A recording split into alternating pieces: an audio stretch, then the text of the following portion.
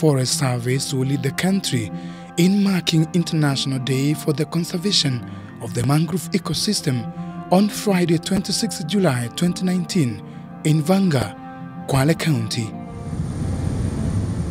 Mangroves are versatile ecosystems located in tropical estuaries, providing habitats to numerous amphibious and marine species, serving essential functions to surrounding communities and preserving the environment and biodiversity.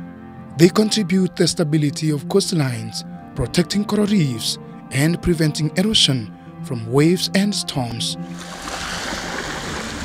Their complex root system traps sediment, slow water flow, and store coastal blue carbon from the atmosphere and ocean, mitigating the effects of climate change and extreme weather events.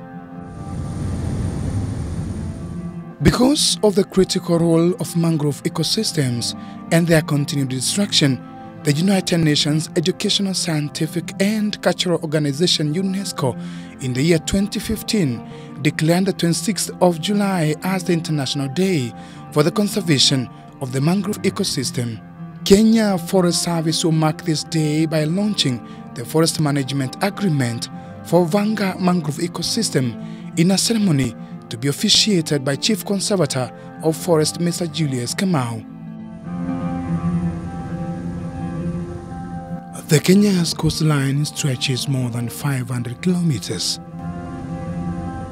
The beautiful landscape is normally breathtaking from the sky. This is due to conservation of mangrove by communities living along the coast, especially Vanga in Kwale County. Mangrove, right now we are at about 60,000 hectares along the coastline. Those are in the five counties of the coastline. And uh, it may not seem to be so big, but it's very strategic and it has a very, very critical role to play. And especially because the, uh, the coastline is very susceptible to impacts of climate change, including the sea level rise and changes. Eh? And therefore, the lifeline of the coast people actually is hedged on how well we conserve um, the mangroves. For years, communities here have depended on the mangrove for building, wood, and beekeeping. Communities living in Vanga in Kwale County have been in the forefront to restore the degraded area to boost forest cover. Kenya Forest Service is currently working with the community forest associations to prepare management plans for the mangrove resources.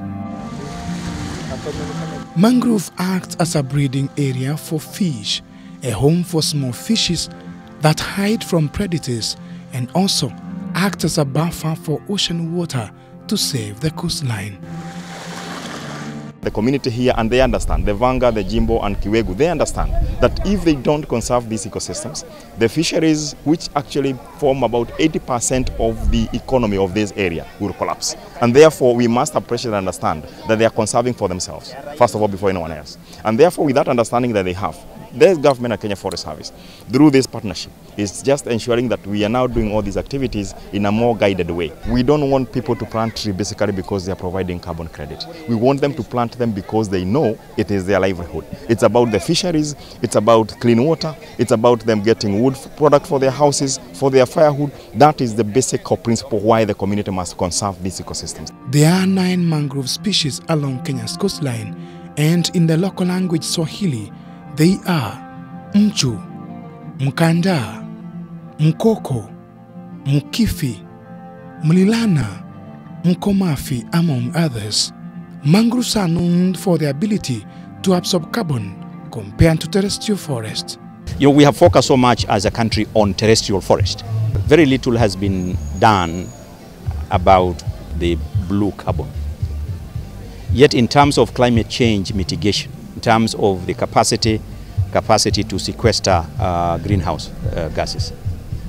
Okay, uh, and one mangrove has the 10 times, 10 times. So you plant one, it's equal to 10, 10, 10 terrestrial forest trees, and we're just developing, finalizing our policy on um, uh, sustainable utilization. Wanton destruction of mangrove forest over the years was contributed by ignorance, poverty, unemployment, and lack of awareness of the importance of mangrove. To even channel our resources in a very specific and targeted approach to be able to change the story along the coastline. We have to conserve this ecosystem. It's very critical. And because we have to have the link between the green economy, which is held by the, the forest, the terrestrial forest in the inland or on, in the upcountry, if we don't also conserve the green resources, which are the, the for mountainous forests, also the mangrove and the blue economy will be affected. So this is an opportunity to draw the nexus between the, the green economy and the blue economy and how they can work together in, in balance to be able to support our communities in terms of livelihood,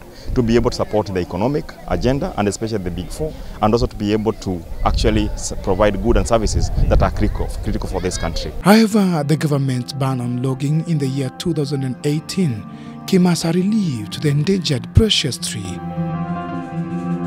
It is in this light that on 26 July 2019, Kenya Forest Service will be celebrating Mangrove Day under the theme Mangrove Action Day. This will create awareness among communities on the need to conserve the mangrove forest for a better environment. It is a new dawn for mangrove conservation.